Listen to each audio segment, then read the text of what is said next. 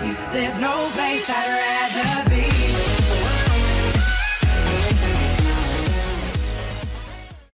Ciao a tutti ragazzi, ben ritrovati nel mio canale, io sono Blaziken68 e benvenuti in questo nuovo video. Siamo tornati su Dragon Ball Xenoverse, però vi anticipo già che questo non è un vero e proprio gameplay, infatti è un gameplay registrato in precedenza e quindi siamo in un post commentary per parlare di un argomento secondo me molto importante. Infatti in questo video vorrei cercare di fare un pochino chiarezza e di dare qualche risposta sul perché esistano queste due versioni differenti di Super Saiyan però che non possono coesistere insieme. Quindi direi che per seguire un filo logico possiamo partire da un punto che credo sia in comune sia con la serie di GT che con la serie di Dragon Ball Super e quindi con la fine di Majin Buu. Quindi partendo da questo punto in comune in Dragon Ball Z dopo la sconfitta di Majin Buu sappiamo una cosa, e cioè che dopo la sconfitta appunto di Majin Buu ci sarà la nascita di Ub, cioè la reincarnazione umana di Majin Buu. E questa credo sia una cosa molto importante, che però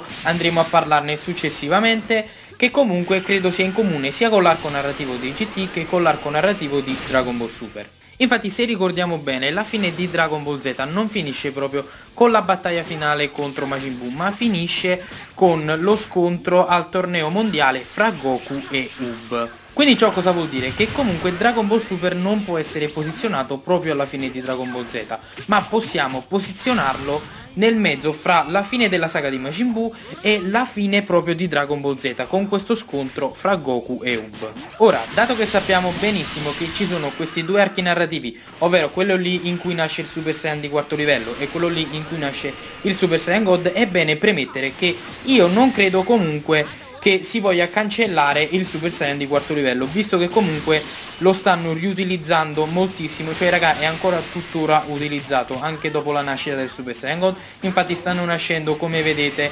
anche se ovviamente in dei giochi e non nella serie principale stanno nascendo personaggi come Gohan Super Saiyan di quarto livello, Trunks Super Saiyan di terzo livello e quindi credo che non si voglia comunque cancellare completamente quello fatto in Dragon Ball GT. Infatti comunque sarebbe abbastanza strano da parte di Akira Toriyama tornare sui propri passi dato che comunque la saga di Dragon Ball GT è un progetto che è stato supervisionato comunque da lui ed è stato quindi approvato in pienissimo. Quindi l'unica spiegazione a tutto ciò credo sia dovuta al parallelismo fra universi. Infatti credo che esistano due universi paralleli, anzi ne esisteranno molti di più, però credo che esistano questi due universi paralleli in cui nel primo universo parallelo abbiamo l'arco narrativo di Dragon Ball GT e nel secondo universo parallelo abbiamo quello lì di Dragon Ball Super. E come vi dicevo credo che la nascita di questi due differenti universi paralleli si possa ricollegare al risveglio di Lord Bills. Soffermandoci sull'arco narrativo di Dragon Ball GT quindi possiamo presupporre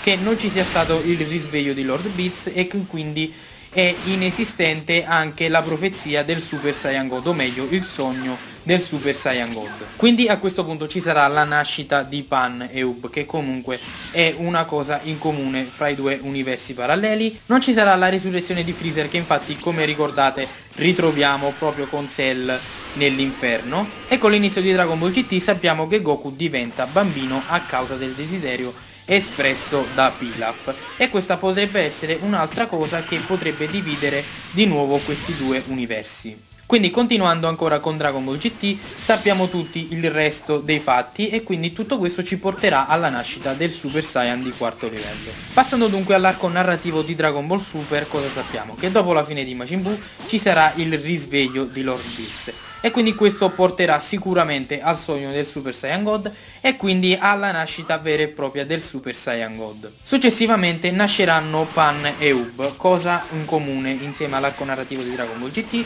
che però si differenzierà dal fatto che contemporaneamente quasi ci sarà la rinascita di Freezer e quindi ci sarà anche la nascita del Super Saiyan Blue. E da qui per il momento noi non sappiamo null'altro, l'unica cosa che possiamo presupporre è che comunque non ci sarà mai la nascita del Super Super Saiyan di quarto livello, visto che comunque sembra che il Super Saiyan Blue o il Super Saiyan God sia uno stadio nettamente superiore al Super Saiyan di quarto livello. Credo sia anche da escludere l'ipotesi che comunque Goku trasformato in Super Saiyan di quarto livello sia già passato per il Super Saiyan God, solo che ovviamente durante la serie di Dragon Ball GT non si sapevano ancora tutti questi fatti di Lord Beers, della nascita del Super Saiyan God e tutto questo. Credo che comunque tutto questo sia da escludere, lo ripeto,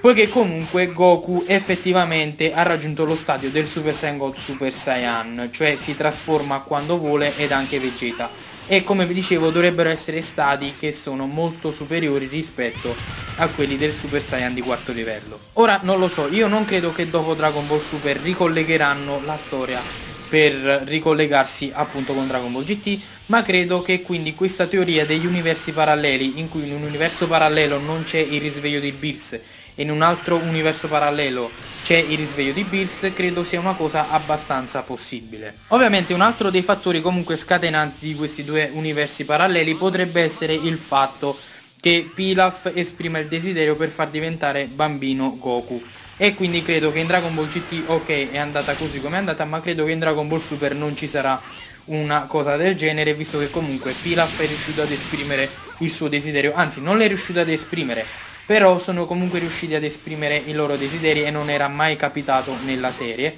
se non, non mi sembra nella prima serie di Dragon Ball e quindi credo che Goku non possa diventare bambino dopo gli eventi di Dragon Ball Super e non possa quindi portare nemmeno a Super Saiyan di quarto livello. Quindi ragazzi io la mia ve l'ho detta su questa questione, ovviamente vorrei sapere assolutamente cosa ne pensate su tutto ciò che vi ho appena parlato, facciamo un pochino di chiarezza, vediamo un pochino come la pensate sul Super Saiyan di quarto livello e sul Super Saiyan God o il Super Saiyan God Super Saiyan e quindi ragazzi aspetto assolutamente dei vostri commentini e quindi vi do appuntamento ad un prossimo video.